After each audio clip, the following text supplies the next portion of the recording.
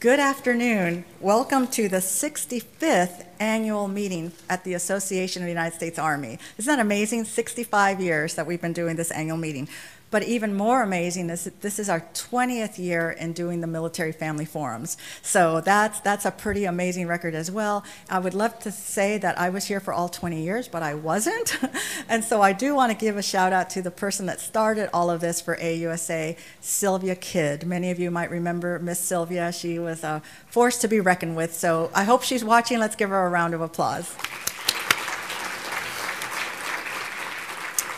So my name is Patty Barron. For those of you that might not know me, I am the Director of Family Readiness at the Association of the United States Army. It's a great job. I'd like to welcome all of you here in the audience, but I also want to say hello to our um, audience that is joining us online. CONUS and OCONUS. Some of you are up very early watching, some of you are staying up late to watch, but we appreciate you being here and participating nonetheless. So thank you.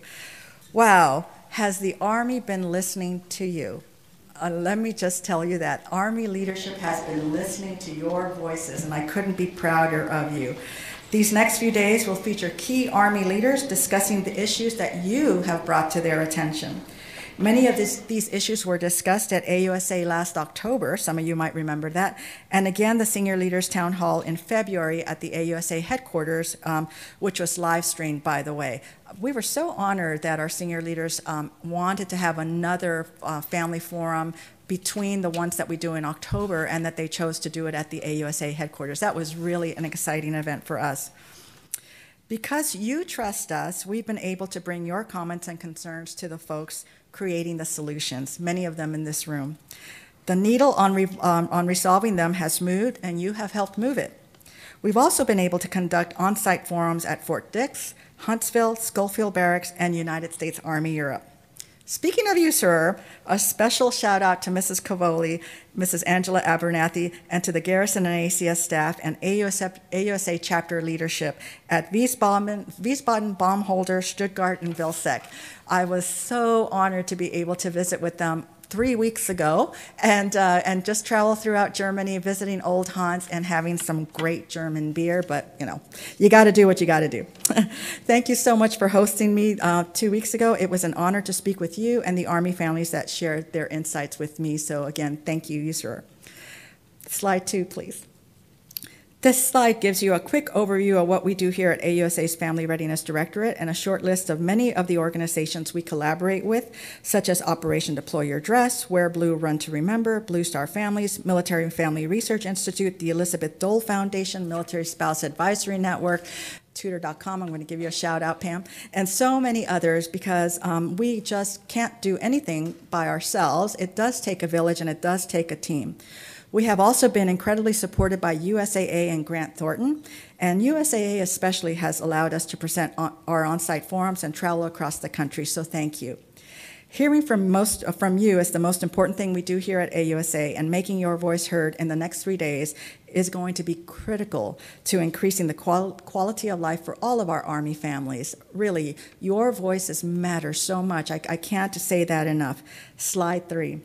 So thank you for your participation ask questions, make comments, tweet, post, but don't forget to use the hashtag, hashtag AUSA 2019 and hashtag AUSA family. For those of you in the room, we have a question card at each of your tables. When a speaker inspires a question from you, jot it down and then wave it high in the air, and our, our card runners will pick them up.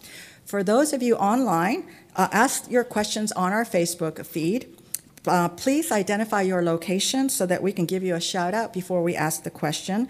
And do me a favor and share, share, share. Let people know that you're watching this. Tell them that they should be watching it too. The more Army families we get to participate in these forums, the better off we are. So let's go ahead and get started.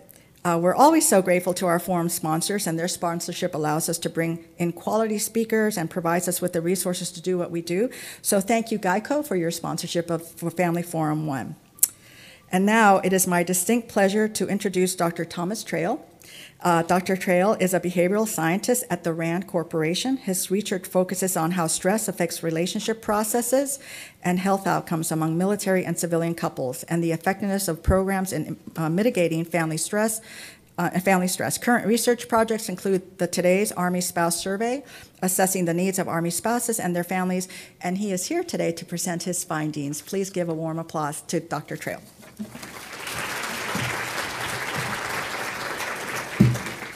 Thank you. Good afternoon, or morning, or evening, depending on where you're at. Um, it's my pleasure to speak with you today about some research I've been doing uh, with Dr. Carra Sims, uh, my colleague at RAND, uh, really looking at how, how Army spouses face their challenges in life and how they go about solving those challenges. So this research was supported through the Office of Deputy Chief of Staff, G9, uh, and conducted through the RAND Arroyo Center. And I'm going to see if I can change this. No? Can you do the second slide? Thank you. So this work builds off of prior research we've been doing at RAND, looking at soldier and family quality of life issues. And you may remember two years ago, uh, Dr. Sims presented some research we had done with soldiers, looking at their perspective on family needs. Um, but being soldiers, they mostly talked about themselves. They didn't talk so much about their families and what their families need. So this research that we're doing today, that I'm going to present, if you the next slide, uh, puts a focus squarely on spouses. So in this study uh, we conducted in 2018, we surveyed a representative sample of Army spouses whose soldiers were stationed OCONUS. Uh, we had over 8,000 respondents to the survey. And we asked them to complete really a unique, comprehensive survey to understand the challenges they face and how they've been trying to address those challenges. So if you're online, uh, the survey is downloadable from RAND's website. If you're here, there's copies over there, including some shorter versions of it. Don't get up now because you'll miss part of my talk. Uh, next slide. So this survey is unique in a way because it explores the process by which spouses go about solving their problems. So it really starts out with the most significant problems that spouses face. Uh, according to them, in the past year, what sort of problems they had faced. Then it walks through the types of help they needed to help address those problems, whether they were able to access the help they needed and resolve their problems, and then what are the consequences of being able to resolve those problems versus having unmet needs. Um, and the survey as a whole evaluates whether spouses successfully navigate the resource landscape, figure out where to go to get the help they need, uh, and, and, then able to solve their problems. Um, it also helps identify potentially vulnerable populations of spouses who might need additional help or additional outreach. So next slide. So a little bit about this survey. What makes it different in a way is that most surveys start with the program uh, use and then measure whether or not the program helped the person or not, or whether they were satisfied with the program. Um, this survey takes a step back and really starts with the problem that spouses are experiencing and walks them through the problem-solving process. So it picks up on spouses who uh, use them more, more than one resource, for example, to help solve their problem, or who actually don't even use a program or a service to help them with their problem. Um, because of that, if a spouse is using a program for help, so if they're using um, childcare and childcare is working for them, then they don't have a problem with childcare, so they don't actually show up in the survey. Um, at the same time, if you could have the best program in the world, but if spouses can't find their way to that program and access it and use it, uh, then they're not going to receive the help they need. So as an aside for that, if you run a program or, or, or work uh, in a program office or you conduct a service for, for military families, uh, this is not a program uh, evaluation per se, uh, because it really just is a needs assessment and whether the resources that are available match, match what spouses need and whether spouses are able to navigate their way to those resources. So next slide. So a quick overview of results. Um, and I'll explain some of these terms as we go through the, the presentation. Um, so for problem areas, the top problem areas that were reported by spouses were with work-life balance, military practices and culture, and spouses' own well-being. Um, when we asked about how severe the problems they were facing were, relationship problems were rated as the most severe, followed by problems with their child's well-being. For types of help needed, the top type of help needed was emotional and social support. So for resources, most spouses contacted military or civilian resources for help, and most were able to resolve their problems, but 22%, or one in five, had one or more unmet needs. Um, for the spouses as a whole, uh, many uh, lacked knowledge about the resources that are available to them and how to navigate that system. Um, and spouses of junior enlisted soldiers, those who were unemployed and looking for work, and spouses who lived further from post were particularly vulnerable across a number of different measures. Next slide. So first, looking at challenges. So what types of challenges did spouses experience in the past year? So we had a list of 96 potential challenges that spouses could check off. Uh, and if none of those 96 different types of challenges fit what they experienced, they could write in their own uh, response to that. And those were grouped into nine different problem domains, which I'll talk about a little more as we go through. Um, if they checked um, different challenges in more than two problem domains, they, we ask them to choose their top two problems. So it's really about the problems that they face that are the most significant for them, not necessarily just everything they, they encountered in the past year. Uh, and then for the top two problems, we ask them to um, rate the severity of those problems. So as you'll see from the, the slide here, about 5% of spouses actually reported that they didn't have any problems. They didn't check off any of our 96 issues. They didn't write in anything. Uh, and we asked to confirm, like, are you sure you don't have any problems? And they confirmed yes. So 5% of spouses did not experience any problems in the past year. But among those who did, next slide, um, feeling stressed, overwhelmed, or tired, both within their own well-being domain and within their soldiers. So they reported that. They were feeling stressed, overwhelmed, and tired about 56% of the time, and uh, 50% of them reported that their soldiers were feeling uh, stressed, overwhelmed, and tired. Uh, the next most frequent one was uh, feeling lonely or bored and own well-being. Uh, the next one was mood changes or experiencing relationship problems, specifically communication challenges in the relationship.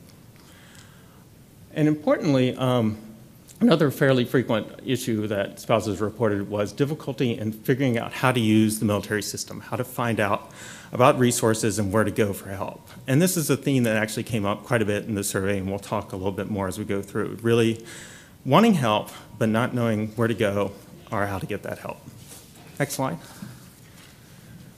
So looking at the problem domains, the ones that they chose as their top two uh, most significant problems second ones were work-life balance, military practices and culture, and their own well-being, followed by relationship problems and problems with the healthcare system. You know, getting the appointments on time, finding a doctor that takes TRICARE, that sort of stuff. Next slide. But of course, frequency isn't the only important dimension. Um, when you think about uh, less frequent problems, they can also be more severe. Uh, so we asked them to rate the severity of their problems along several different dimensions, and the most severe are the problem that had the highest severity ratings were relationship problems, like I mentioned earlier, followed by child well-being, financial or legal problems, soldiers' well-being, and their own well-being. Next slide. So spouses who had problems, we asked uh, the type of help that they needed to deal with those problems. So do you need information? Do you need social support? Do you need cash? What do you need to help you with this problem? Uh, if they chose, again, more than two different types of needs, we asked them to rate uh, their two most significant needs for the problem. And overall, about uh, among all spouses, 17% said they had a problem, but they did not have a need. Again, we asked a follow-up question. So why didn't you have any needs? Um, what was what what was going on with your problem that you did not report any needs for it? And about 65% said that they um, that they had no needs because they had already solved the problem themselves or were in the process of solving the problem themselves. So they were actually just working on it themselves. So they didn't need outside support necessarily. So that's 65% of that 17%. Next slide. So of those who did report needs, um, the overwhelming response, not overwhelming, but most said that they uh, needed emotional or social support. So about a third of spouses um, reported that as a need, followed by activities, professional counseling, and general information. Um, At the bottom there, you'll see, we did ask them if they had a need that didn't fit our categories, to- that they could write in uh, what they they needed. And we coded those into different categories, so some of those show up at the bottom there. So like about 8% said they needed better service or availability or quality in the programs they were using. Uh, 3% wanted to change the military practices or rules. Next slide. Okay, so following the flow of the survey, so you have problems, you have a need, do you access resources to meet those needs? Um, so about 8% of spouses actually said, you know, they had a problem, they had a need uh, for that problem, but they did not access service or a program or even talk to other people about what the um, what they needed. And we asked again a follow-up question, well, why not? Why didn't you reach out to resources? And the most common response among those who did not reach out was that they did not know who to contact for help. So about a third of those who, you know, had a need had, um, and did not reach out for resources said they just didn't know who to contact. Next slide. So of those who did use resources, um, saw a number of resources, both military and non-military. So I'll go through what some of those specific resources are in the next slide. Um, but about 71% access both military and civilian services uh, to help them with their problems. About 15% sought only military resources or civilian-only resources. Um, and on average, spouses, spouses contacted more than four resources per problem that they experienced. So they didn't just go to one place if they had a problem to help solve it. They went to four different um, sources for help. So next slide um, shows you what some of those sources were and what were most frequently reported. So personal networks, so family or friends, um, was the most often used resource um, by spouses. So those are percentages in the, the numbers there. 52% said they reached out to their personal networks. 43% uh, said they reached out to other military spouses for help. Um, and then 43% said they saw a military provider, medical provider for help. Um, internet was also very popular, not surprisingly. Uh, both civilian and uh, military internet and social media were also somewhat frequent uh, sources of help for people. Um, and I just want to point out that the Army Family Readiness Groups uh, are down there at the bottom of the military resources. Um, they were not accessed very frequently uh, by, um, by spouses for their help. Um, and I just want to point out, again, just as a reminder, because of the flow of the survey, this is not a percent of spouses who use each of these resources. So if you you think about child and youth services, for example, um, 16%, more than 16% of spouses use child and youth services, right? This is the percent of spouses who use these different um, resources for a problem that they had. Just, so just in case you were tracking on that. Next slide. Okay, so next we asked spouses who used resources, well, did those resources provide them with the help they needed? Next slide. So of those who used resources, the majority of spouses had their needs met. However, some did not. Um, across all spouses, including those with no problems, you know, no needs, et cetera, that works out to about 22% of spouses, or one in five, who reported having one or more unmet needs. So we asked them across all the resources they went to, were those needs met? They said they were not. Next slide. So what are the implications of that? Um, sometimes when you do research, you find a finding, you're like, well, what does that really matter? Well, we uh, did some uh, regressions that related the different types of problem solving that spouses went to. So, you know, those who use resources and had their problem solved, uh, those who uh, didn't use resources, those who had no problems, et cetera. And compared to those groups, those spouses who had unmet needs had higher levels of stress, reported worse attitudes towards the military and expressed less support for their soldiers staying in the military. So next slide. So stepping back, uh, we meant, I mentioned earlier that one issue that came up fairly frequently is being able to navigate the system. Um, so we asked spouses about their knowledge of the system and how they confident they felt about sort of figuring out which resources to go to when they were having problems. And most spouses agreed that they were comfortable using military resources, so about 57%. uh, said they were comfortable, but many spouses faced a challenging navigating those resources. So around 40% said they didn't know who to contact to find the right military resources to meet their need. Um, and this is in general, this is not for the problems we asked about, this is just across all, all problems they've had. Uh, and about 34% said they did not know to who to contact if a resource was not meeting their needs. So if they went to a program to get help and it wasn't helping them, they didn't really know what to do after that. Um, interestingly, spouses with dependent children found it easier to access and to navigate military resources. And what we're thinking there is that it's possible that having children sort of put you in connection with the military community. So you're, you're using CYS, for example, so you're connected to those resources, you have experience with them, so you might be able to use the system better. You might be able to talk to other spouses who have children, for example, about your problems. They might help you. Next slide. But there were some groups of spouses that were particularly vulnerable. So soldiers, uh, spouses of uh, junior enlisted soldiers, so that's E1s to E4s, uh, were more likely to report financial, financial or legal problems, uh, need general information, uh, less likely to reach out to other Army spouses for help, and less knowledgeable about navigating the system. Um, spouses who lived further from post uh, were also vulnerable across a number of measures, uh, including they were less comfortable using uh, the resources available to them, less able to navigate them, and more likely to have unmet needs. And finally, spouses who were unemployed and looking for work specifically um, had more unmet needs, are more likely to have unmet needs, and also experienced some vulnerabilities across a number of different measures. Next slide. Um, so spouses needed information or they in, indicated they, they wanted information about how to access resources and what resources are available. So we asked them um, how best to get information to them. Uh, about 61% said they would like a mailed postcard. Now, we mailed postcards to spouses for the survey. That's how we got in contact with them. Um, so it's possible they were just saying, hey, it works for me. Um, but it's not a bad, you know, a way to get people's attention. Um, Facebook um, was cited by 54% of spouses as a good way to contact them, and an email announcement from a unit leader or from a family readiness group.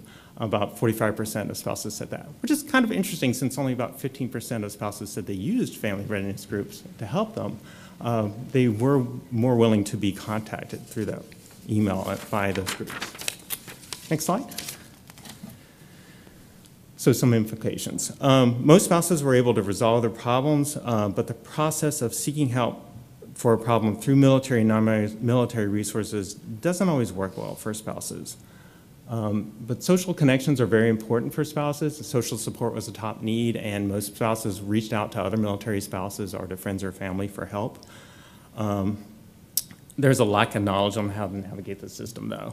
Um, and when a program is not working for a spouse and a lack of awareness of programs. And you know, it could be that if you had an unmet need um, through using a program, it could be that another program actually would have helped you. But if you couldn't get to that program, you didn't know about it, um, then you know you're not going to receive the help you need.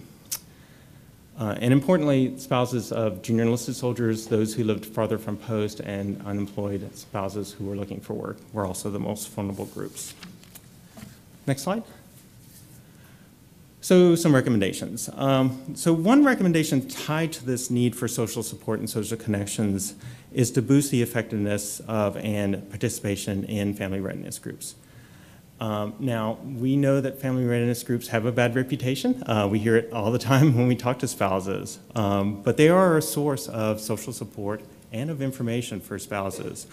Um, and we realize that, you know, increasing usage of, of, those family readiness groups would require a reboot of the whole process of whole, the whole program. Uh, and you're going to hear a little bit more about that, I think, in the next panel. They're going to talk about some changes that are being made. Um, another recommendation is that FRGs or other solutions could better connect vulnerable groups to the military community. So getting those vulnerable groups, junior enlisted, spouses of junior enlisted soldiers, spouses who live further from post, um, more involved in the military community could really help them find the resources they need. Um, we also think that uh, to, to improve the information flow to spouses, um, we think that spouses that the Army should explore providing uh, outreach to uh, spouses and connecting them through email, either through uh, collecting their emails and being able to email them uh, information or is actually issuing them email addresses. Also, helplines or no wrong door policies are good tools for negotiating resources. So you can call a helpline if you don't know where to go. So there's Military OneSource, of course, but there could be other helplines or going to uh, I mean, ACS for help. Um, a no wrong door policy means if you show up at the physician with a problem that is better handled by a different um, a program uh, like ACS, or maybe you need financial help, uh, that physician's office could actually point you to the, uh, the resources that are most appropriate for you. And finally, to uh, build customer, customer feedback and ongoing program evaluation and monitoring into the program. So if programs are not working for spouses, then you know this being able to let them communicate to programs that it's not working and why it's not working and why they're not able to use it would really help improve the program's um, ability to help spouses solve their problems. So that's it. Next slide, I think is the last one. And uh, any questions? Yes? It was active duty spouses only, yes. Thank you.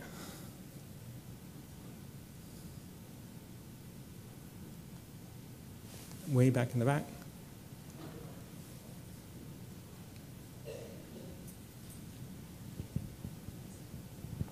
Do you have any recommendations about connecting via social media? So, yes. Um, you know, not everybody's on social media, right? Um, Facebook seemed to be the most popular one. We asked about other types of social media, and it, they were not, um, at least not recommended as much by the spouses that we uh, that we surveyed. Um, so, I mean, the problem with social media is it's kind of a uncharted territory sometimes when you get a bunch of spouses together. So there's, um, I would say, moderated groups would probably be better um, than sort of unmoderated groups. Um, I found other in other research that that's the case. Um, so, and then it's a matter of getting people to sign up for it and them finding out about it, which I think is the same issue, right? It's sort of like, okay, there's a Facebook group out there for, say, military spouses at this installation. How do the spouses at the installation find out about it if they're not already connected to the system? And I think that's the hard part about that. One of the things that we're trying to do, and I'm at Fort Eustis with mm-hmm. MWR, is because we're finding most of our success with social media, mm-hmm. especially with the um, lower enlisted, mm-hmm. and is to try as when they're in processing to get the spouses to actually give us, you know, access to their their spouses' um, social media pages mm-hmm. because that, especially those who live remotely, that seems to be where we are finding our most success. Is that if you send me, and I'm 54, if you send me an email, I'm not going to read it, but if you text me or message me through Facebook or any of my social mm-hmm. media sites, I'm going to see it. That's perfect. So, yeah, yeah, it's it's getting that contact right off the bat that you're doing. That. I think that's really a great idea.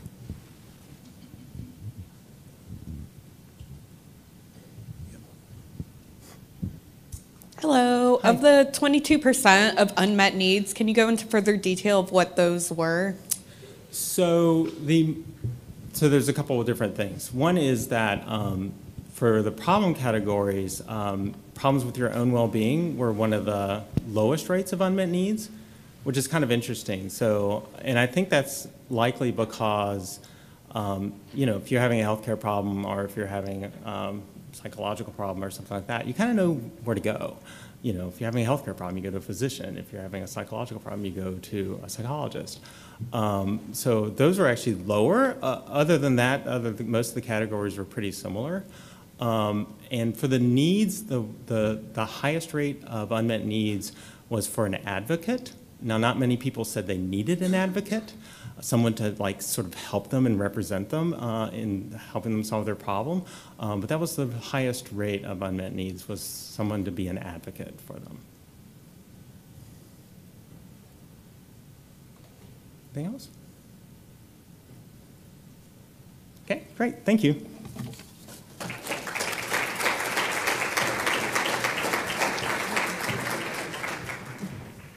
Thank you so much, Dr. Trail, and please accept this little gift of uh, to- as a token of appreciation from AUSA Family Readiness.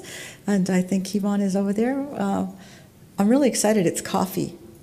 so I think we might uh, all it a little bit. So thank you again. That was really very, very informative. Um, okay, everyone, I, I, forgot to mention that uh, this is going to be our longest forum of the next few days. And so I'm going to ask you all to just um, take your breaks as needed. But right now, I'm going to ask you to stand up and take a stretch break as we bring up our panelists, but don't go anywhere. And so our, our first panel will be coming up on stage. And bring, bring your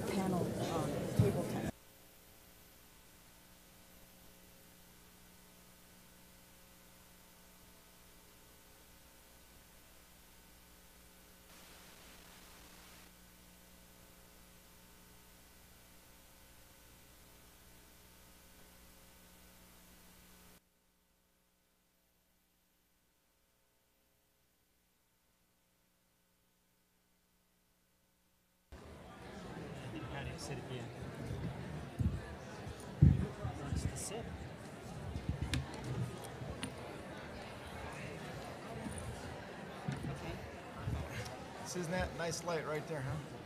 Yeah, it is. Right in our face. That's okay.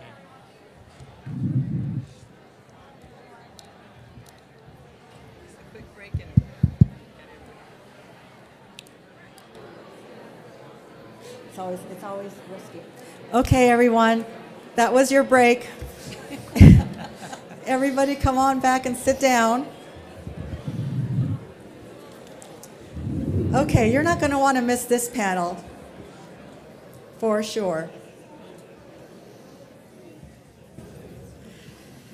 So thank you, thank you for that.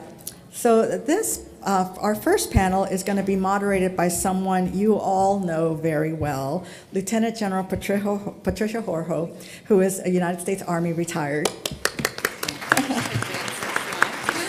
As, as you know, General Horoho retired as the 43rd Army Surgeon General in 2016. She was the first woman and nurse to hold that position. She now serves as Chief Executive Officer for Op- OptumServe, which supports the health needs of federal agencies serving the military and veterans. Lieutenant General Horoho is also an AUSA Senior Fellow and is here in that capacity. Ladies and gentlemen, my dear friend, Patty Horoho.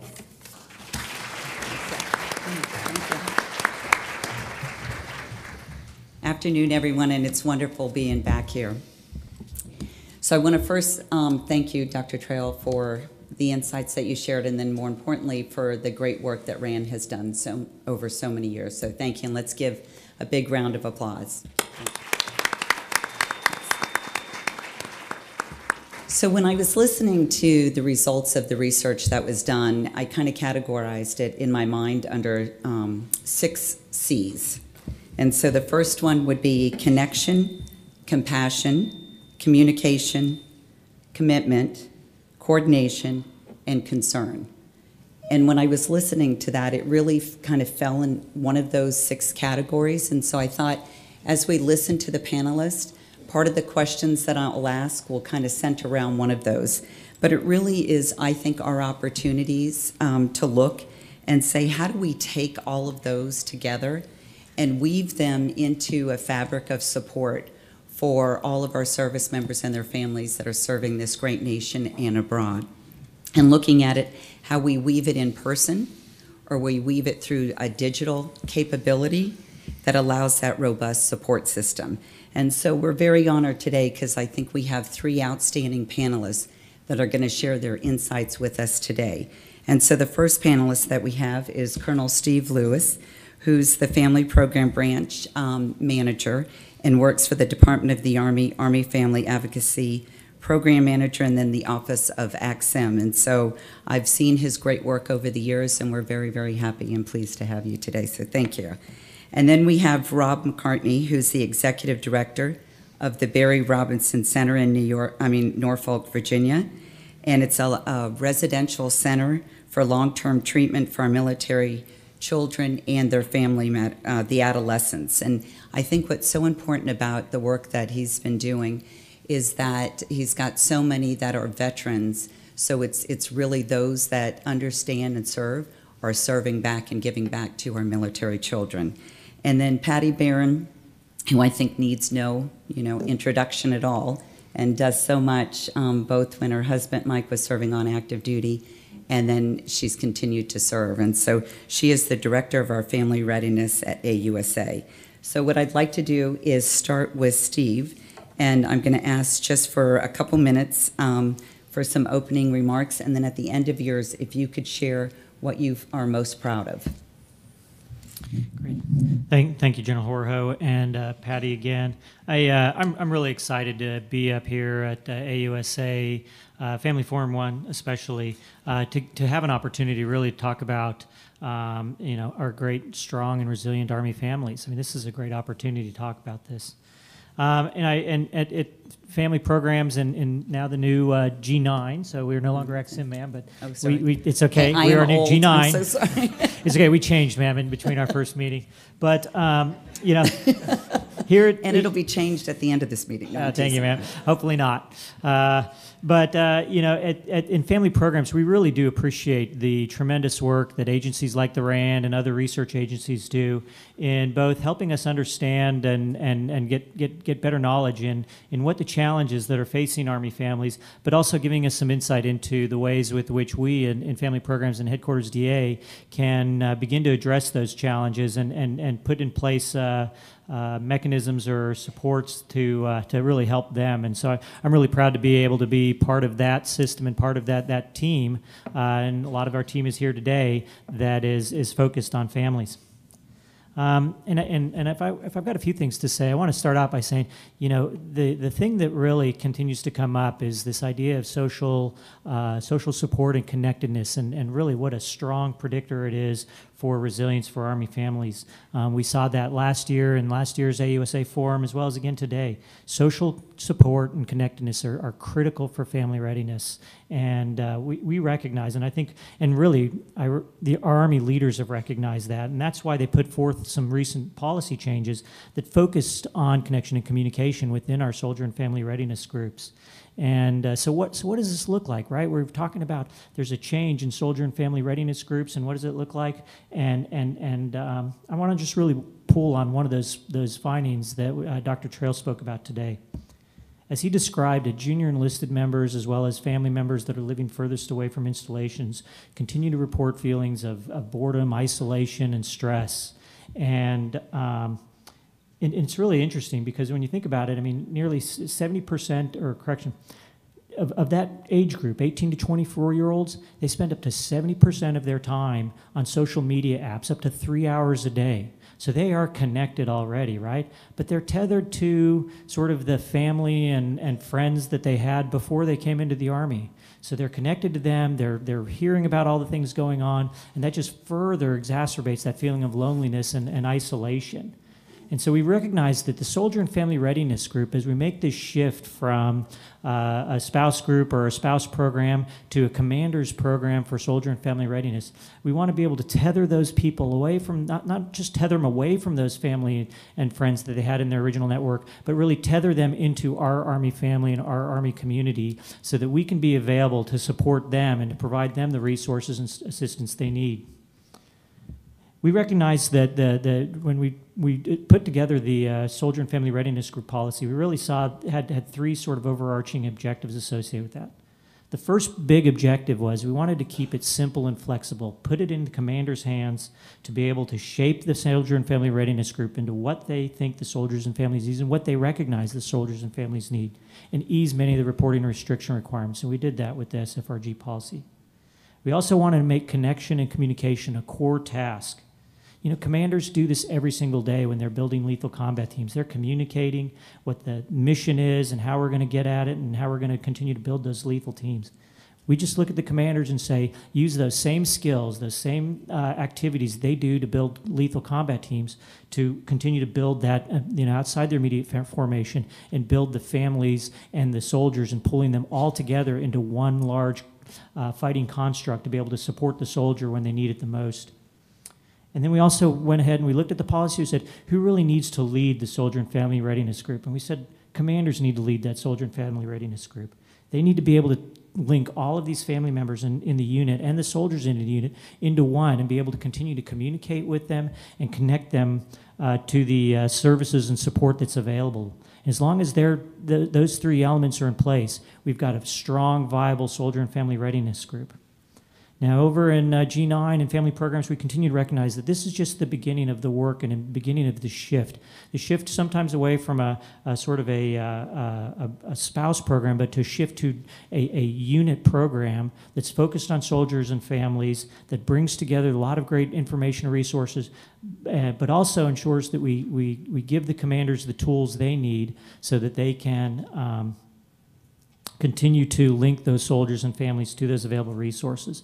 So this is an iterative process. We're working with uh, our stakeholders and other organizations to uh, and other entities within the Army to continue to build what is Soldier and Family Readiness Group. Take it away from just a, a fundraising entity to something that is is is is really connecting people using all the resources available to them, whether it's social media, whether it's uh, email, and, and, and using that as a way to link them. So we're, we're excited about it. We continue to work with our stakeholders in, in pulling this information together. And we're open to hearing your ideas and your thoughts as well, because we recognize we want to make this Soldier and Family Readiness Group truly something that commanders can leverage within their kit bag of building strong lethal combat uh, formations. Thank you, ma'am.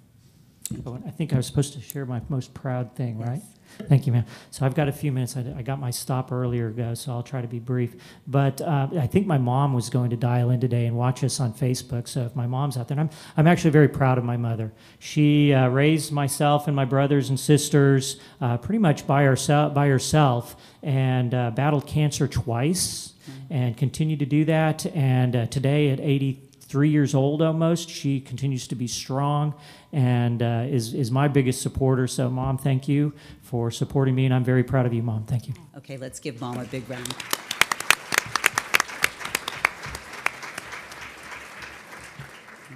And Rob, why don't you share yours? Hi, I'm Rob McCartney. Uh, the Barry Robinson Center. Uh, we're a nonprofit residential treatment center for kids 6 to 17 that have a military connection.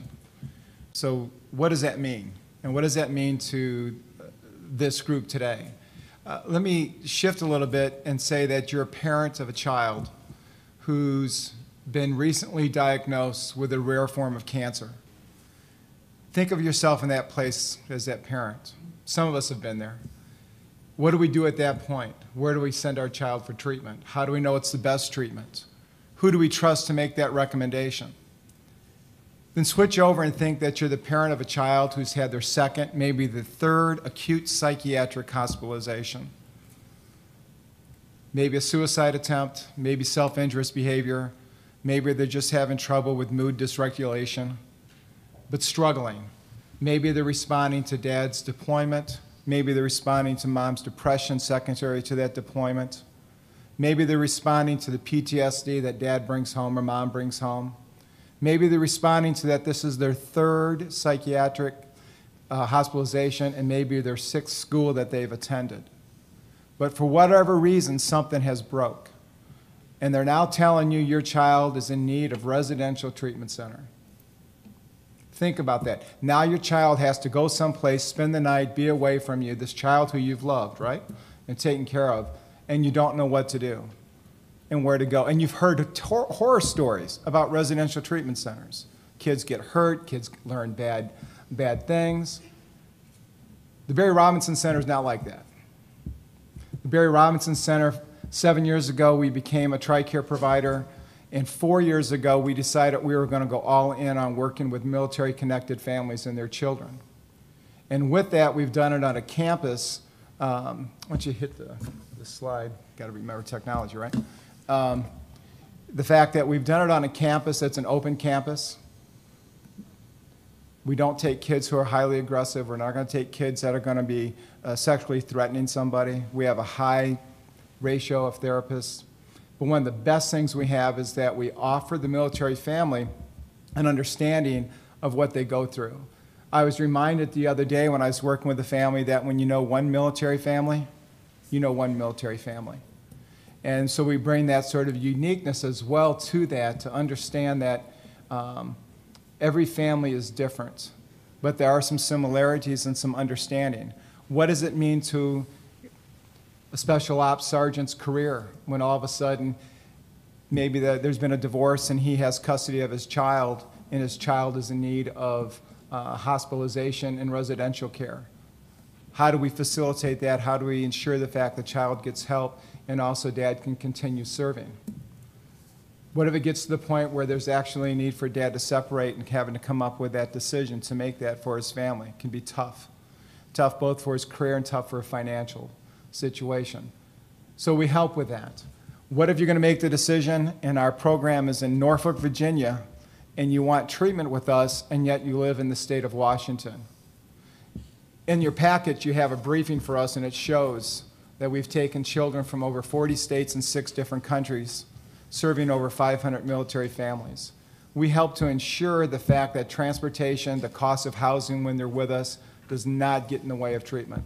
One of the benefits of working for a nonprofit that is supported by a, uh, a very strong board and understand what our mission is, is to be able to help serve the families and the children who are serving as well.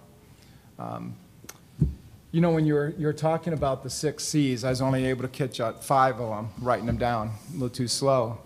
Um, but I think the whole issue about connection and compassion is something that we do really well. Uh, if somebody calls us for information, I have much part of my team out there, uh, Justin and Lisa, raise your hands, wave your hands. Uh, I don't know if Dr. Brooks is here or not, um, but they have uh, expectation from me that when a call comes in, it's responded to within two hours. And the expectation is we have a disposition done within 48 hours. Uh, families don't want to wait under stress. Uh, sometimes not that quick. We had a referral recently from Germany that took us a minute to uh, try to figure out custody and how we were going to bring the child in and who was going to pick them up at the airport. And if I needed to somebody to send somebody over to Germany to come back with that child. Um, the other thing that we do great is we don't take everybody because we know we can't meet every kid's needs. Can't be everything to everybody. Um, and so when you call, we will, uh, if it's not us, we help find that. Um, we're sort of that one-stop shopping. And I've got my stop sign here. These guys are great up here. Um, uh, what I'm most proud of, uh, as with that, well,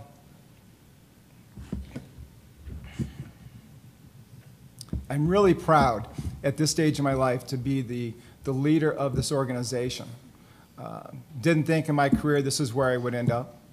Um, it's been a pretty phenomenal ride the last seven years. Uh, part of this pride has been driven by my pride for my son-in-law, who is a 100% disabled Marine. Uh, one of the reasons why I took the job was to be close to them and to be able to help out with my grandkids and to make sure there was a program if my grandkids ever needed um, this level of care, I'd sleep at night. So that goes with that proud for uh, uh, my son-in-law, Greg, uh, who's doing well, getting ready to get his first dog. Uh, Patty, again, thank you for giving me the opportunity to talk. I also tell you that we're down at the Family Forum, booth 3324. Um, please come by and, uh, and talk with my team there. Uh, we'll be here afterwards. Need to talk to. I know often when people have questions, they like to do it in private, and we can do that as well. Uh, again, thank you very much, and uh, that's it. Thank you, Rob. And then Patty, if you can give us from the personal family perspective. Absolutely. Um, as you can see, I am not the beautiful Maria Reed, uh, who was going to be in, um, in this spot today. Uh, Maria is living the Army life, of course, and her husband currently deployed. Her son was playing football on Friday. He received a very hard hit. He has a concussion, and she needed to stay with him. And so uh, that is why I'm sitting in for Maria. Maria is the Army Spouse of the Year, uh, the Armed Service, um, Armed Forces Insurance Army Spouse of the Year. And, uh, and I had the very big honor of being one of the judges for the MSOY program this year. I read hundreds of, of nominations. And Maria stood out to me because um, she has a very um, atypical and yet typical Army story in that she was a producer of, of commercials and, and was in the film industry for quite some time. Mm-hmm.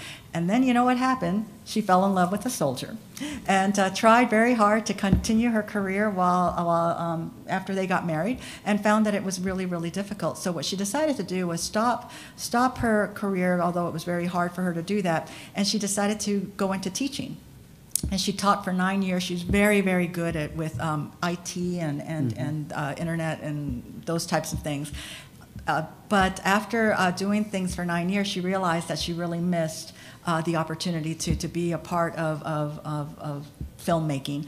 And she and her husband um, together, because she said, we don't do anything without each other. You know, we consult each other on, on the things that we want to do.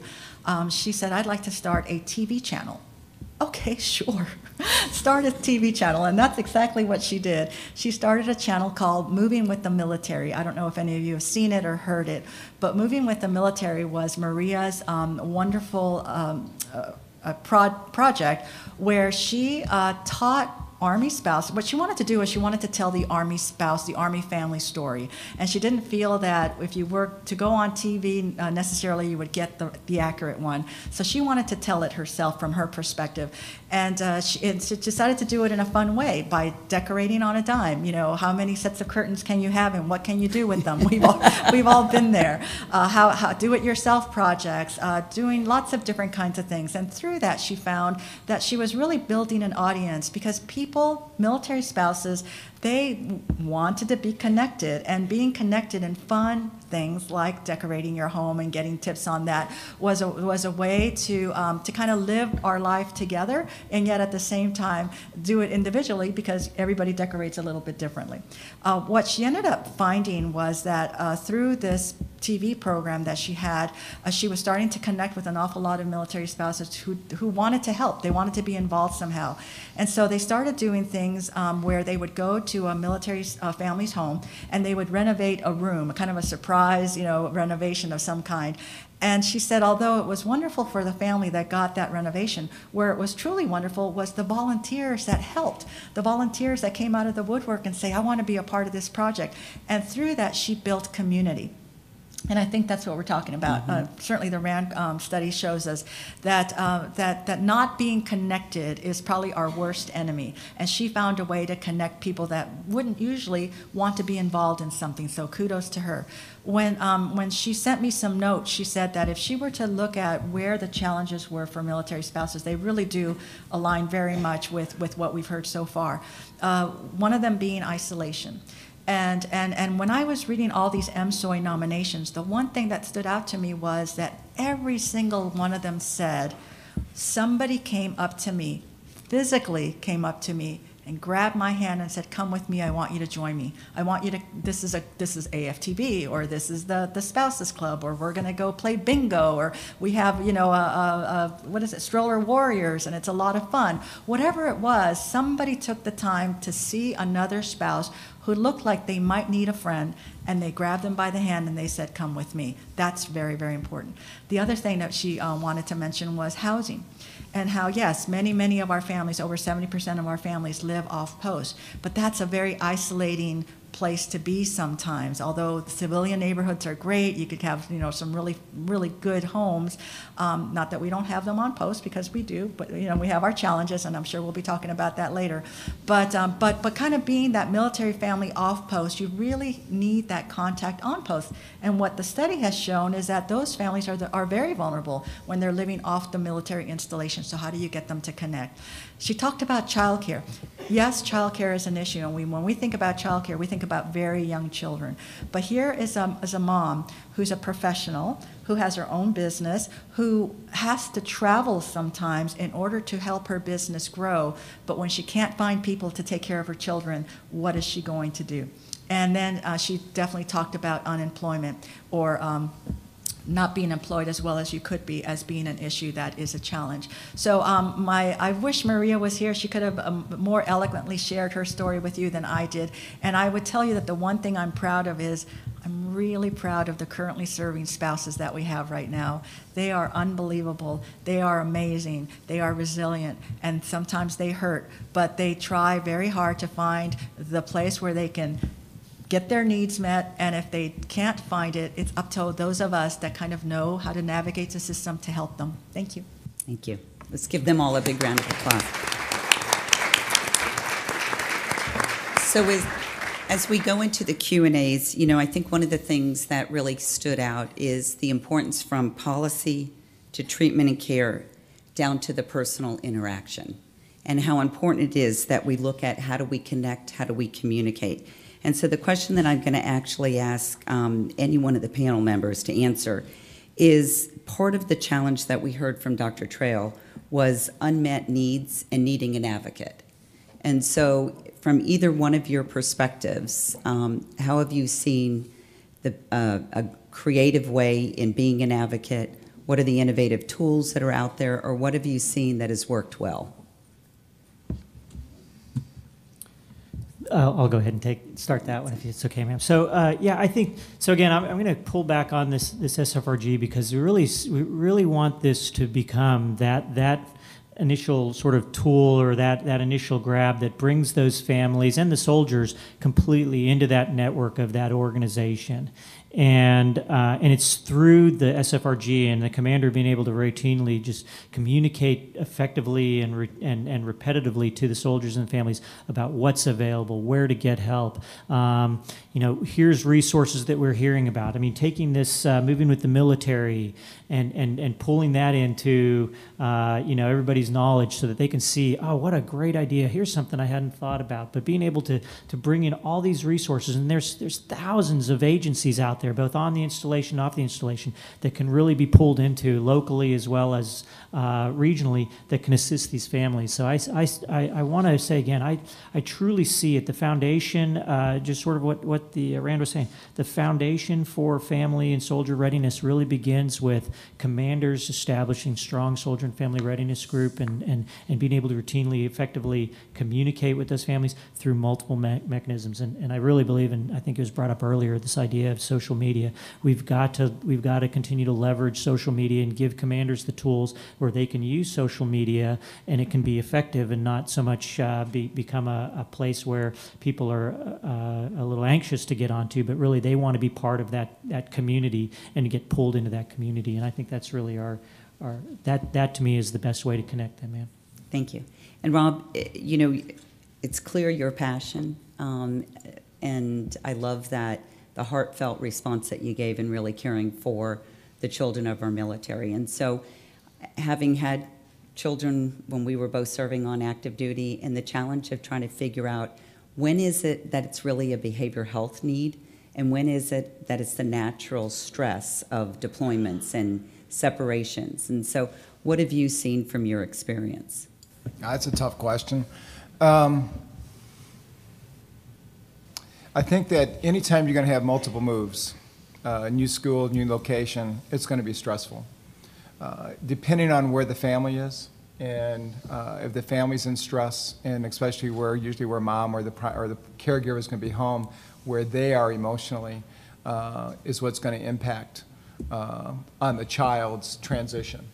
Um, it's also uh, developmentally.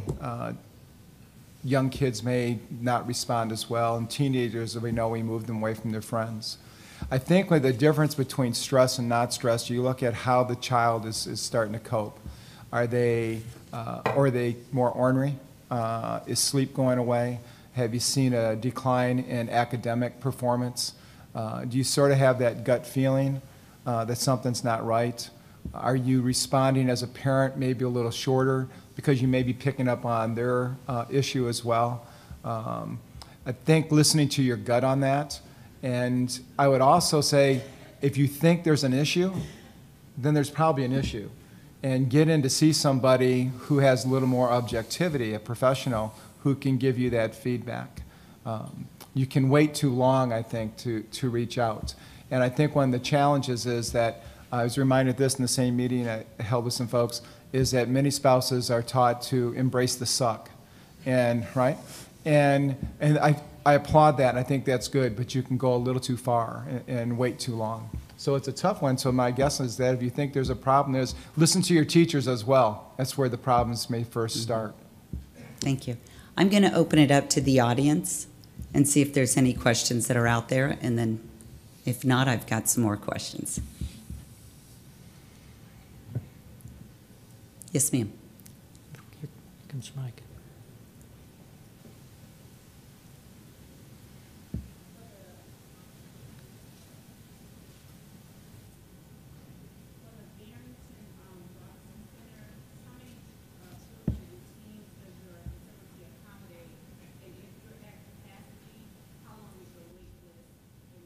Then, oh, there it is.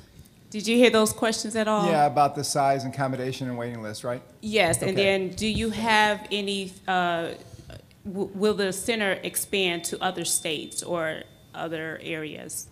Sure. Uh, The second question probably is the easiest to to answer. The answer to that is probably not. Based on the trust that supports us, um, we need to stay within the Hampton Roads area. That doesn't mean our philosophy and our work won't.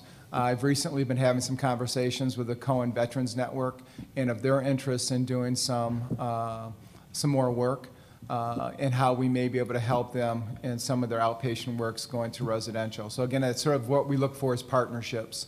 Uh, Bed capacity, we're 72 beds. Uh, We're six 12-bed units that's uh, separated by both gender and age. So there's some limitations we have with that. Um, uh, Length of stay, somebody asked that, maybe asked that, that's about six months. Uh, What do we do when we're full? Um, we don't have that often because we have about six months and they're moving forward. But when there's full and people are having to find placement, we have some other partners that we work with that we feel confident with. And it's the same if we, say if we get a referral for an eating disorder, because we don't do eating disorders, we will help find that placement for you. Uh, But my team does a great job of, uh, when a parent calls for help, we just don't say, we don't have bed space, we don't treat, goodbye. We say, we don't have bed space, don't have space, hang on, let us see what we can do, and we walk. We've stuck with parents and families two or three months to find the same placement, even though they're not coming to us. Very nice, thank you. Yes, sir. So, hello. Um, This is back to the SFRG uh, information, and I'm the spouse half of a command team currently trying to build a really robust SFRG like you've been describing. Um, And my question is, how is the Army looking at connecting the spouses and providing the information to the commanders so that they can be a conduit of resources, not only Army-provided resources, but off-post organizations as well? Yeah, so I mean, I think that uh, so that's one of the things that we continue to look at in terms of uh, with working with our uh, partners uh, down at the Installation Management Command. They are preparing to uh, roll out a new virtual family readiness group uh, platform that will help uh, provide commanders at least provide have a, a capability to communicate to families using the VFRG, uh, which needed an update and it's getting updated. That's one uh, mechanism. The other is, I mean, I think the the the thing that's probably uh, the most viable that we continue to see is, uh, you know, we know that the majority of millennials still use Facebook very heavily and other social media uh, platforms, and and figuring out a way for you know helping commanders to give them the information and the tools so that they can utilize that as a platform and then being able to connect the local ACS and what's happening in, at locally at that community, being able to have that as a push to those commanders so it can then push out to the, uh, the family members, whether it's through Army Community Services or MWR or, or uh, activities that are happening at the local health healthcare facility, being able to get that information in the hands of commanders as rapidly as possible so they can continue to push that out. Uh, we, we see that truly as part of the implementation portion going forward, and, um, and we recognize there's still some gaps there. But I think that the beginning is if we can ensure that commanders are really bringing in that whole community team, whether it's the, uh, the soldier who's new to the unit, new to the Army, and living in the barracks and not really sure what to do and, and how to get there, or the family members that have, you know, this is their second or third time, but first time in that installation, how they can, we can get them all connected into one, uh, one, one strategy to, or one medium to get information out to them. Um, we, we, we do recognize that that's really the key. And, and I think part of is our implementation as we continue to build this. We want to continue to try to solicit what are the best practices, what's working well and what's not working well, so that we can make sure that we're not putting out information that, that has just been very ineffective and not helpful. Colonel Lewis, can I ask a quick question? How do families tell you what's working well and what's not working well? So we do, um, and part of currently what we've been doing is we've been uh, meeting with stakeholders and other uh, senior leaders to help gather some of that information. But uh, we could, you know, I think this is a great forum uh, for us to get that information, and uh, we'll continue to try to resolve that as well. Thank you. Uh, Good afternoon. Uh, You mentioned all these policy changes or changes that you're working on as far as policy uh, to the Soldier Family Readiness Group. Um, When can we expect to see some of these changes? And moving forward, what, what's the future look like after these changes get into Yeah. place? Thank you very much. So in April, the, uh, the Secretary of the Army signed an Army directive that did change the, put, put in place the change to the Soldier and Family Readiness Group that identified the change to the name, but also um, brought in, you know, some of the easing the restrictions and the reporting requirements. So that was our first major initiative. and We've done a couple uh, uh, announcements through the Bugle Call and Army.mil about that change. The second part of it is we recognize as we put out policy that we needed some additional implementing guidance to help uh, inform commanders about the change to the SFRG and, and give them some more left and right boundaries. So that, that implementing guidance is, is nearing completion for internal staffing, and we hope to get that out very soon. That'll help inform, again, the field about the change to the SFRG, and we're going to use that uh, that next um, notification, if you will, as a launch pad to then continue to adjust and make iterative changes to policy. Good afternoon. My name is Sarah Matthews. Uh, the question I have is during our Army career, we have been uh, stationed with joint services. So, what is the Army doing to help decrease that loneliness when you're stationed with the Air Force or stationed with the Navy? Because we've been stationed with them and we've been told, oh, you're Army, we can't do anything for you. Wow, that's a, that one. I, I- if I could take that for the record, but I can't. So um, let me. I think the important thing is, I, mean, I think that we recognize that still remains to be a gap, and as we're looking at, as we're getting feedback, we've heard a couple times that at joint uh, installations, it, there still needs to be some communication out there to to support the families. But um, I, I, you know, that that uh, I think it remains to be a gap, and I'd be glad to hear some more from you. Hello, sure.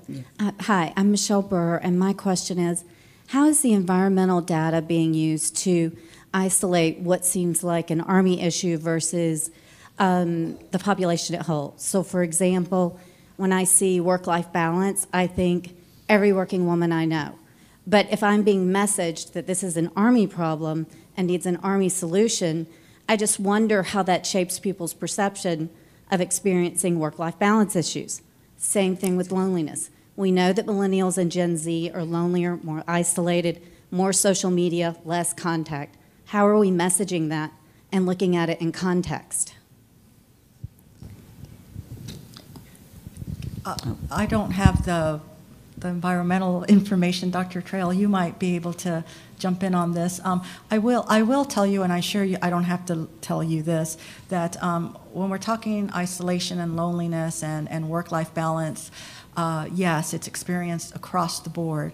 But what I think happens is when you add the added stresses of the military life cycle, um, it can it can really exacerbate some of those problems. And I don't know if you all found anything that supported that or. So, yeah, I think um, you raise a very good point, and we didn't survey civilians, right? So we don't, we can't compare like the military families and what they're facing to what civilian families are facing. But I think Patty's absolutely right that the idea is that look, Army families have the same problems that every other family has, right? But they have this additional stress of deployments and op- ops tempo and all this other stuff going on and moves every two years that exacerbate those problems more likely. Um, so the idea is that, you know, loneliness is a pretty common experience for a lot of millennials now. But if you have to move every two years, if you establish a group of friends, more than likely those moves are going to exacerbate your loneliness. So the idea is that, you know, to the extent that the Army can have programs and services, things like the SFRGs to help families negotiate that part of Army life, then that's an important, you know, service that can be provided that at least, you know, doesn't really say that it's an Army problem per se, that being lonely, but that it's a support that's in place to help the Army life from exacerbating the common civilian problems. I, I think we're a microcosm of the greater society. And I think there's areas where we're very similar to the stressors that are occurring just in life for everybody in general. And um, I think one of the things, a couple of the questions that were raised, I think it really highlights an opportunity for us to actually have a really good feedback loop and to be able to look at how do we take what we have and connect it digitally, right? So that we keep those that are maybe on the joint basis connected to programs that are already really strong within our military. So I just, um, some of it is that there's strength that families, when they go through adversity, and some of it's a shared experience that actually gives us resiliency, and I've seen resiliency, you know, in the military children. And so I think a good point is what are the strengths that come out of this, and then what are the challenges that come out of this?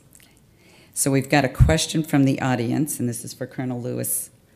So, what type of training is going to be provided to commanders, especially at the company level, to provide them with the tools they need to be effective leaders of a um, SF, excuse me, SFRG? Will commanders be provided training at their at their captain's career course (PCC) or at their installations prior to taking command?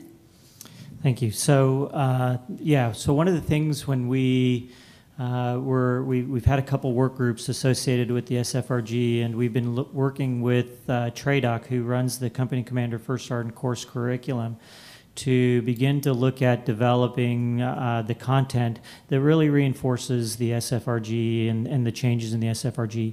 But I do want to sort of revert back a little bit um, to what I was highlighting earlier. You know, again, the things that commanders already do and, and command teams, whether it's the commander, first sergeant, and their and their subordinate leaders, when they're building those lethal combat teams, I mean, they're they're doing what you know the core leadership elements in terms of being highly competent and knowledgeable and being able to regularly communicate with their soldiers about what that mission is and creating that sense of purpose and, and, and focus for them. Those are the same skills that they really can empl- employ across their whole formation to the family members and, and to all the soldiers in that organization to talk about the, the, the organization as a, as a fighting force. So while we want to make sure that we're orienting the commanders to their important, vitally important role as SFRG leaders, we're also going to reinforce that they have much, they, they've got a lot of these skills and tools uh, in, in their kit bag already, and that's what made them successful to want to get into the, to, to, to assume the mantle of command, and that will carry them through their command time as well. So uh, we, we are working closely, though, with the TRADOC and the Company Commander First Sergeant Course curriculum folks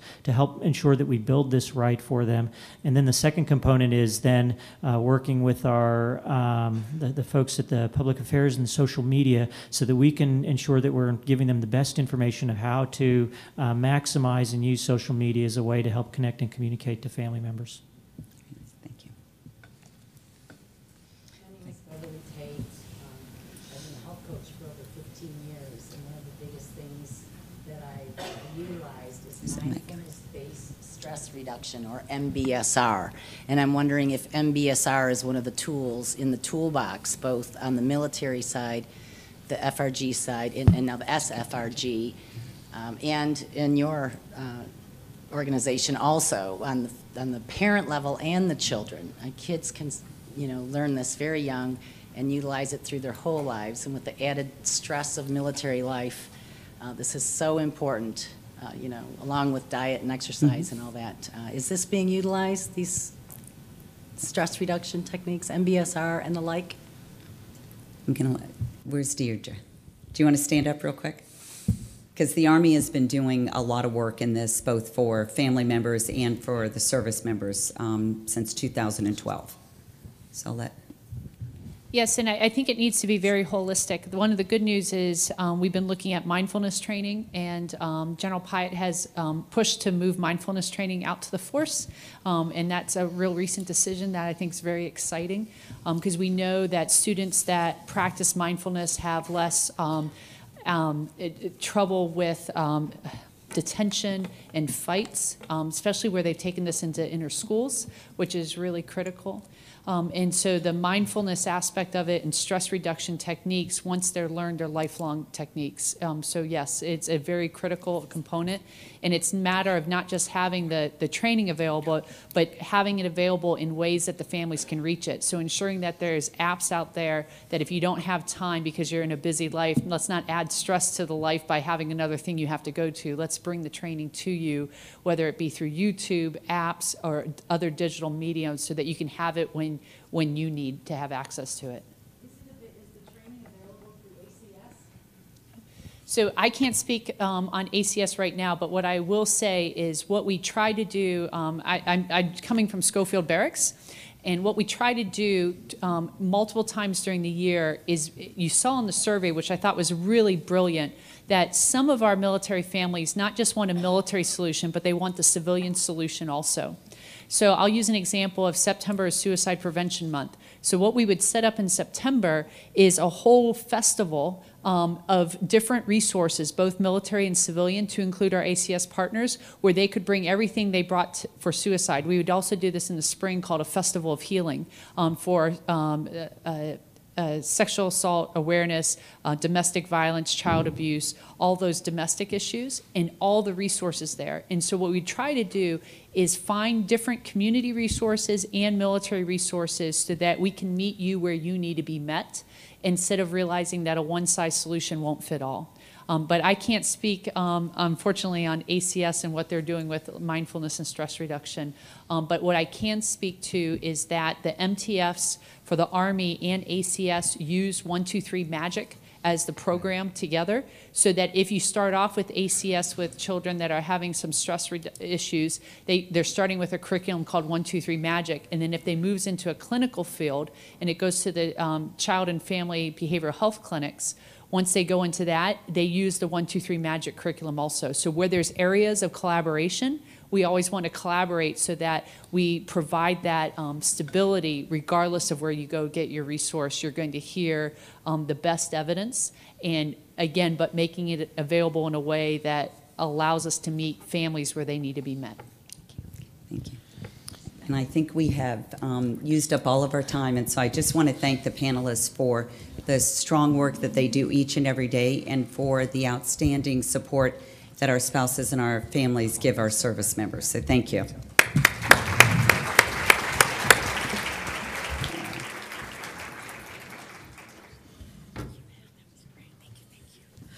Thank you so much, uh, Lieutenant General Horoho, and to our panelists, Colonel Lewis and, and Rob McCarthy, um, McCartney. Uh, you've got a little gift, parting gift from us, and uh, we are going to bring up our next speaker right away because um, I think you really want to hear from this gentleman. Uh, we're very, very proud of him. He's, he's, an Army general that is going to be a, a very important person in all of our lives. So we are now going to hear from Lieutenant General Ronald Place, uh, Director of the Defense Health Agency, DHA. Um, which is in uh, Defense Health Headquarters at Falls Church, Virginia. General Place leads a joint integrated combat support agency enabling the Army, Navy, Air Force, and Marine Corps medical services to provide a medically ready force to combatant commands in both peacetime and wartime. I could go on and on and on about all of his amazing uh, accomplishments, but I think that you'd rather hear from him. So please, ladies and gentlemen, uh, join me in welcoming Lieutenant General Ron Place.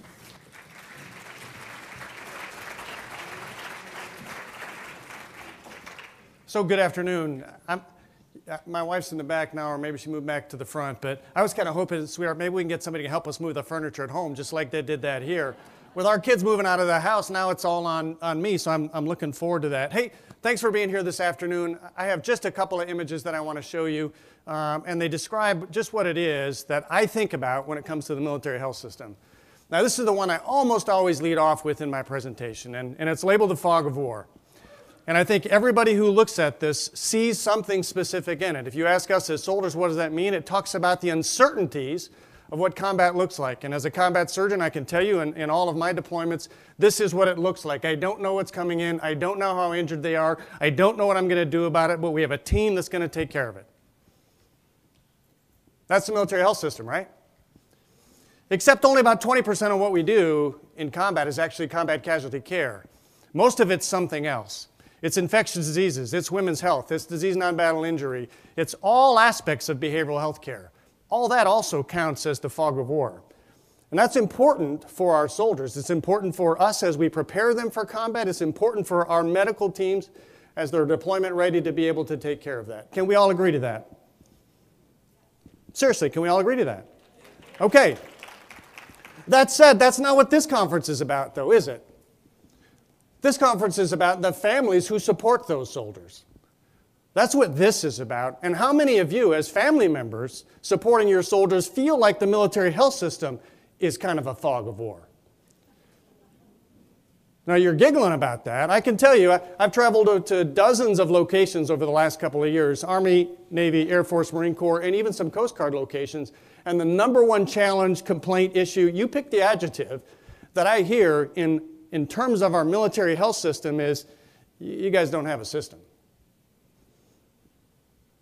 Because when I go to make an appointment at one location, it's different than when I try to make it another location. Is it better to do it online? Is it better to call the clinic? Is it better to call the, the one number? How does that work? What about when I get a referral? Who handles that? Do I do it? Do you do it? How long do I wait? Who calls me? Do I have to take something with me when I go out or do they call me? What about after I'm seen? Do I bring it back? Do they bring it back? How does that work? Yes? So we don't have a system. So when I talk about the fog of war, at least for this particular audience, the number one objective in the Defense Health Agency for the coming year or two be to figure out how do we get from where we are right now, which is local solutions, where people tried very, very hard to solve a problem locally because somebody had an issue with it, to a standardized system where it makes sense. This is how you make appointments. This is how we interact with our contract partners in the purchase care sector. This is how the information gets to them, not on your back to carry it there. This is how the information gets back to us, not on your back to bring it back to us. How can that system work? To remove that fog. Because here's the deal it's personal for me. May every single one of you, it's personal. This is how it's personal for me. That's my beautiful bride on, on the right. And between us, is, is our daughter. And while I was, I was nervous and, and afraid at times in my multiple combat deployments, and I'm confident that my family was a little bit worried about me, nothing was more challenging to me than when my daughter was in Afghanistan. That's my child.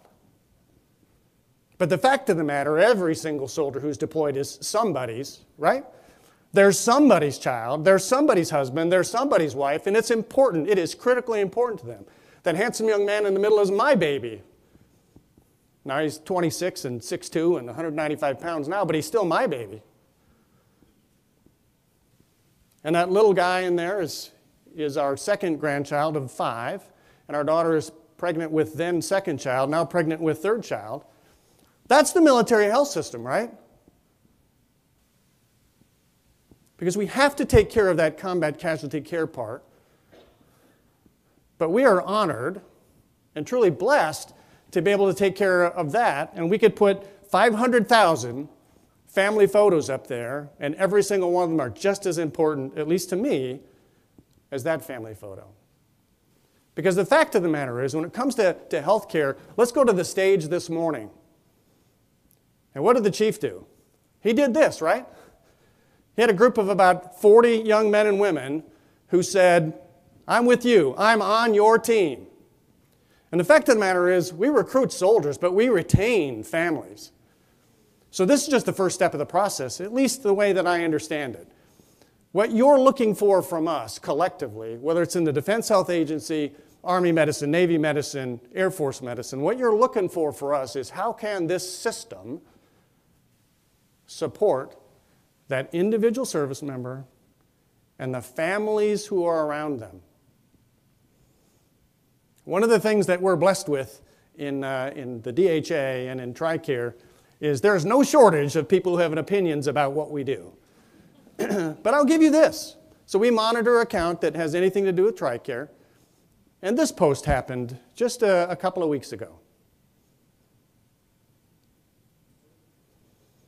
And this, again, not being an unemotional topic, was rapidly followed with hundreds of additional posts. And some of them are here. I'll wait a moment if, if you want to read some of them.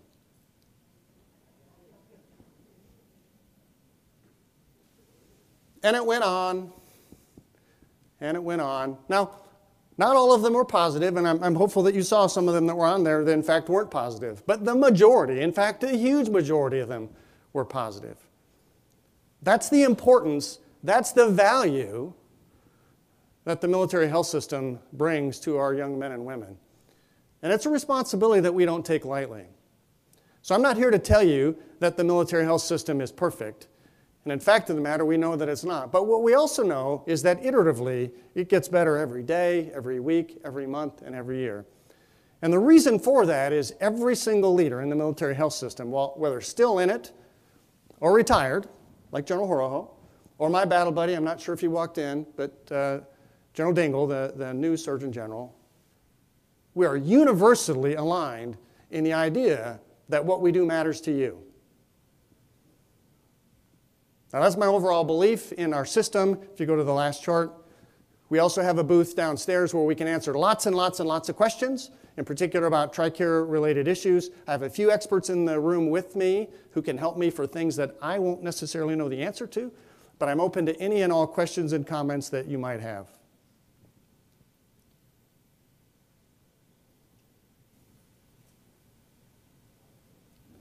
Way in the back, yes, ma'am.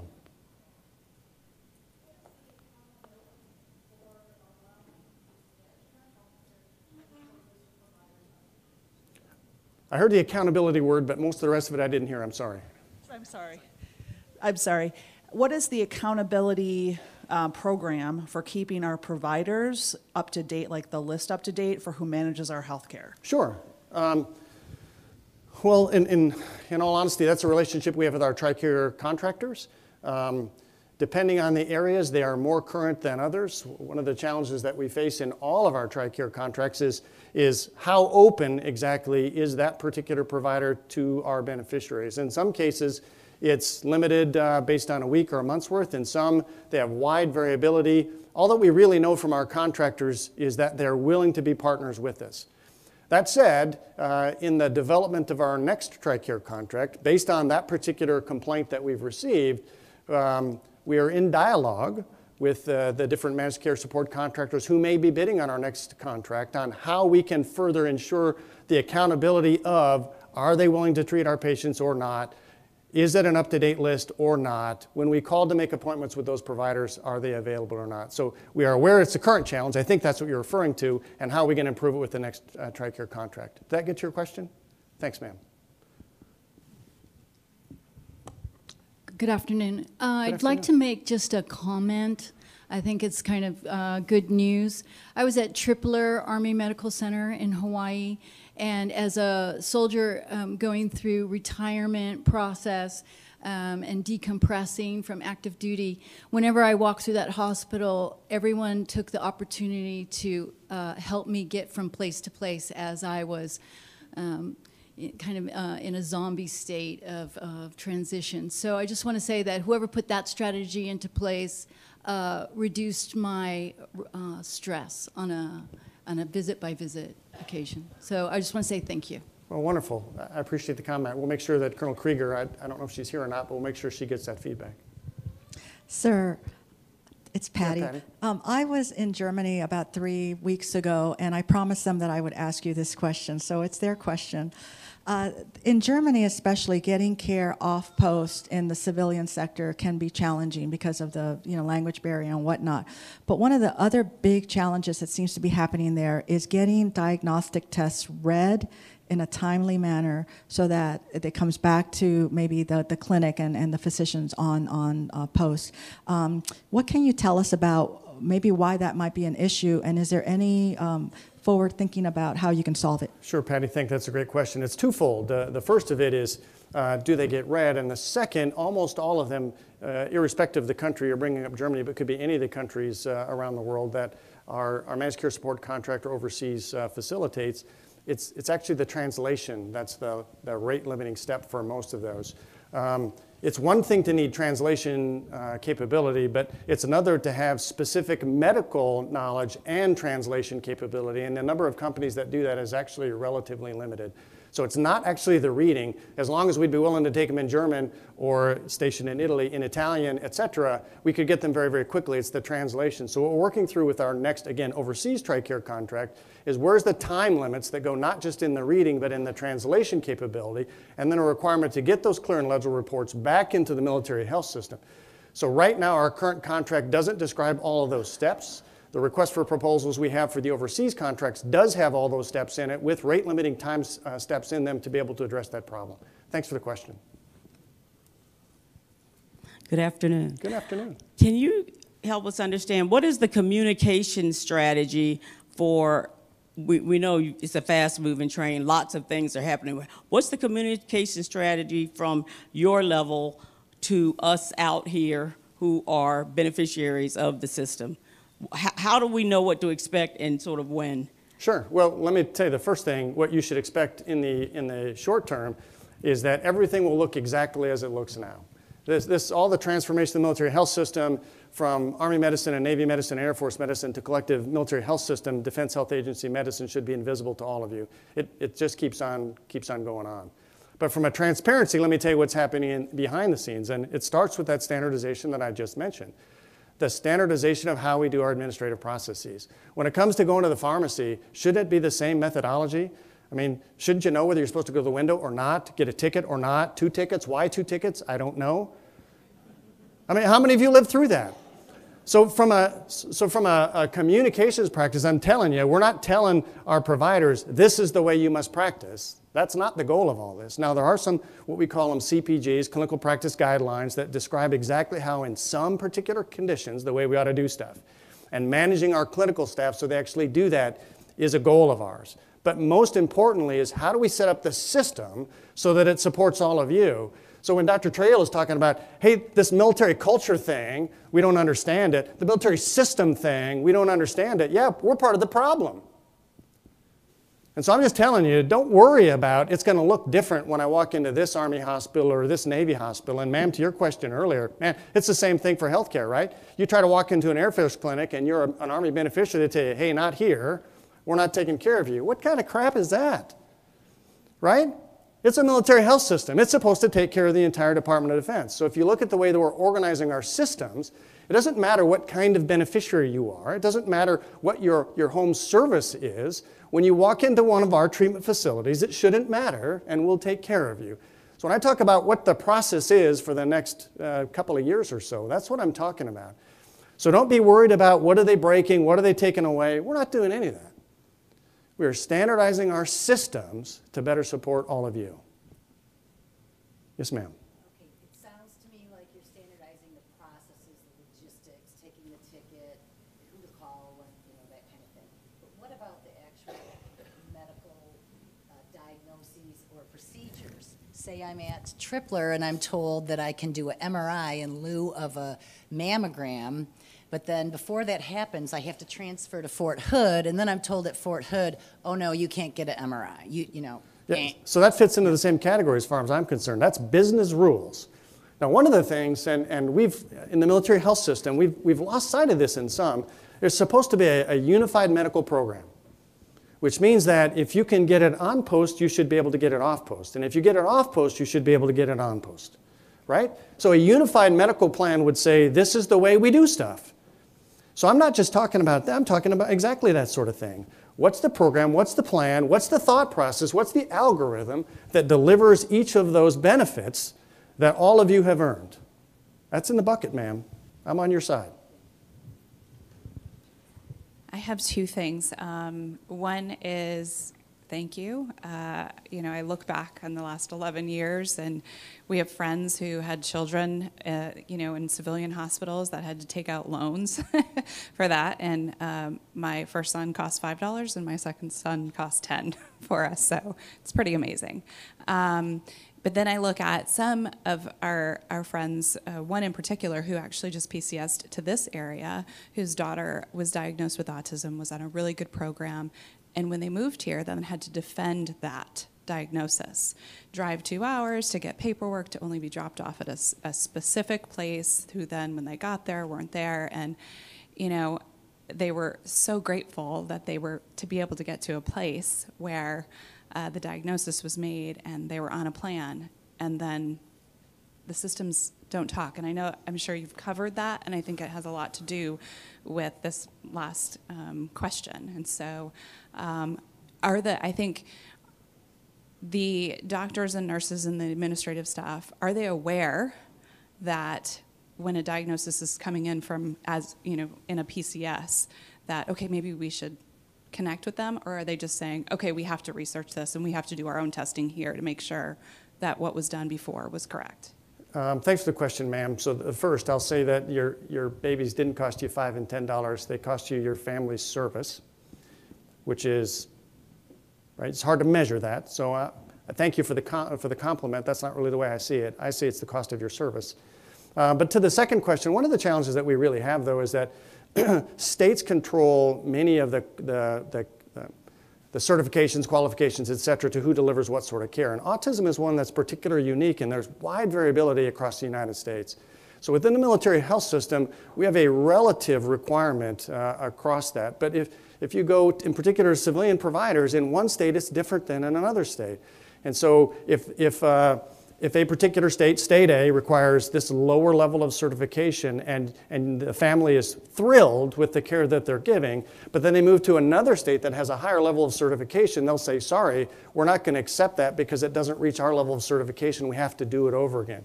So some of the challenges that we face is how can we set a standard across the entire military health system that allows each of us to have enough capacity capability to see what we need outside in the civilian system and still have it be transportable. I don't have a perfect solution to that. Autism is a great example of the challenges that we face. It's not the only example, but we, we try to balance both of those requirements. Is there enough to, to meet the requirements of the community and still be portable once that family moves around? Does that get to your point? Thank you. Well, thanks again, ladies and gentlemen. And, and, if there's any other questions that any of you may have, please stop down in the booth and see us, uh, whether it's me or other members of the military health system. We'd be glad to answer your, your questions. Thanks again.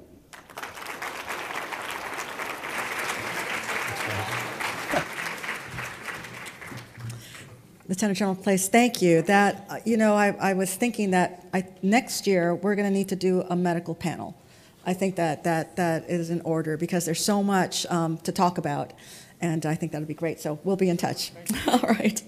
So we have uh, one last panel to go, and it actually it really is a great uh, connection to what we just heard because this is all about self-care and uh, resiliency and building resiliency physically, mentally, and, and spiritually. And so um, I'm going to ask you all to take another stretch break in place. Don't go anywhere because, like I said, this is the longest one. I promise you tomorrow they'll be a little bit shorter, but uh, I think you're in for a, a real treat with some of the um, conversations that we're going to have in just a few minutes.